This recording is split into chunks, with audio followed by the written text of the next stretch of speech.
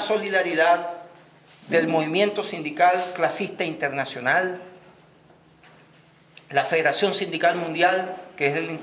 la organización sindical clasista a nivel mundial, se ha pronunciado y ha dirigido una comunicación al presidente Nicolás Maduro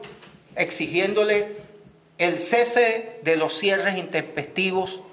de los abastos bicentenarios, el cese de los despidos ilegales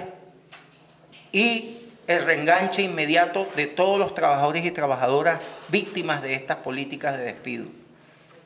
También la Federación Sindical Mundial se pronuncia por la activación de una instancia de trabajo y de discusión donde participen los representantes de los trabajadores y trabajadoras